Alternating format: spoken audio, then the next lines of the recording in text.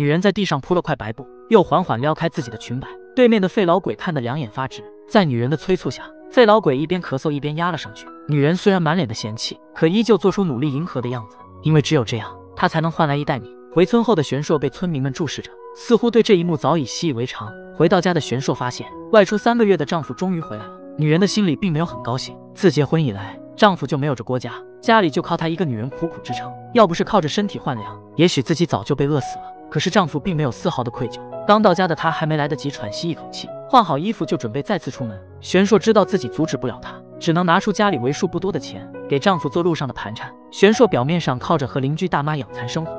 分得两成的提成，但这远远不能满足玄硕，他只能做些外快来赚钱。隔壁的霍雅姐就成为了他的联络人。可是每次玄硕辛辛苦苦赚来的大米，霍雅姐都要分走大半。玄硕对此毫不介意，羊毛出在羊身上，只要霍雅姐家有男人，就不担心这大米回不来。渐渐的，玄硕的事被村里人知晓，他也成为了人们茶余饭后的谈资。就连位高权重的村长也想跟玄硕体验一把翻云覆雨。一场大雨打断了正在忙活的村妇。就在村妇们慌忙躲雨时，村长唯独拉走了玄硕。一枚银戒指的亮出，表明了村长的决心。玄硕半推半就的成全了村长。很快，玄硕和村长的流言蜚语就传了出来。女人们聚集在小溪边洗衣服，嘴里谈论的自然是村里的顶流玄硕。看到玄硕也过来洗衣服，女人们就你一言我一语的对他冷嘲热讽，听得玄硕脸红一阵白一阵。旁边的女人还炫耀起自己的戒指来。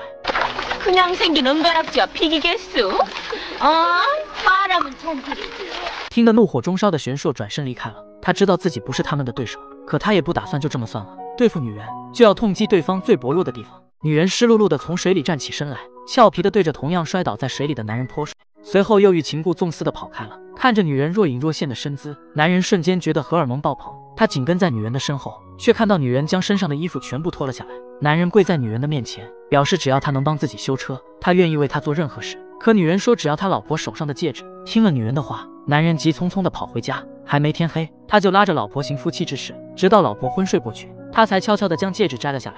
随后就着急忙慌的赶往约会地点。而玄硕早已在此等候多时。男人将戒指戴在了他的手上，玄硕也信守承诺，帮他修好了车。第二天，男人的老婆发现自己的戒指不翼而飞，但她并没怀疑到丈夫的身上，只以为是自己粗心大意弄丢了。但没过多久。有人就发现女人的戒指戴在了玄硕的手上。老婆得知此事后，瞬间猜到丈夫跟玄硕发生了什么事，整个人彻底炸毛。她带着几个好姐妹将丈夫暴揍了一顿。事后又觉得根本源头就是玄硕，他们又气冲冲地闯进了玄硕家，对着他拳打脚踢，吵闹声引来了村民们的旁观。大多数人都是来看玄硕的笑话，而那些曾经跟玄硕有关系的男人们，此刻都像个缩头乌龟一样，躲在一旁不敢说话。直到村里的老人出来制止，他们才上前将自己的老婆拉走。女人们走后，狼狈的玄硕缓缓坐起身，伤痕累累的他只觉得心里异常的疲惫。恍惚间，他似乎看到了自己母亲。曾经的玄硕也是个年幼无知的少女，可是国家战乱让家里早已揭不开锅。看着年幼的弟弟妹妹和重病的父母，玄硕只想替他们减轻负担。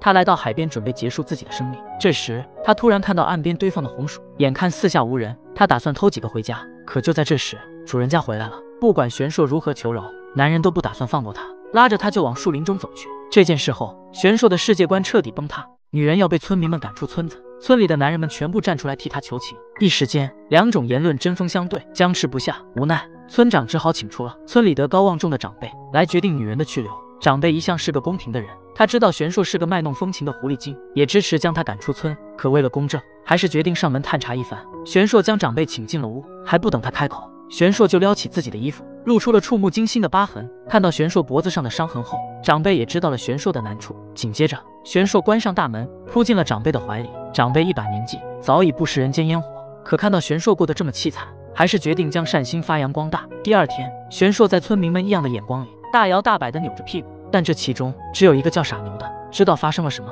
他跟村里的男人一样，对玄硕觊觎已久，但他没有富裕的粮食，能够消费得起面前的女人。他一次又一次的跑到玄硕的面前，充当护花使者，以为这样就能换来玄硕的一次垂怜。可是玄硕却对他厌烦不已，还时不时将傻牛羞辱的无地自容。在亲眼目睹玄硕和长辈的苟且后，傻牛的心里开始记恨起了玄硕。没过多久，玄硕的丈夫终于回家了，傻牛立即跑到他的面前，将玄硕做过的事都捅了出来。丈夫一听，怒不可遏，参过军的他将傻牛打得毫无还手之力。紧接着，丈夫几拳把玄硕也打得不省人事。丈夫被吓坏了，连忙请了大夫回来。却看到玄硕安然无恙的在打扫卫生。就这样，一场闹剧在夫妻俩的握手言和下落幕。丈夫这次回来依旧待不了多久，第二天清晨，在玄硕骂骂咧咧的叫嚷中，丈夫再次踏上了采摘桑叶的路。而此时，一个日本兵出现在了村口，他正默默地注视着丈夫的一举一动。丈夫从日本兵面前走过，不卑不亢，一脸从容。日本兵一见，瞬间露出了难以抵消的杀气，随后便虎视眈眈地跟了上去。而这一幕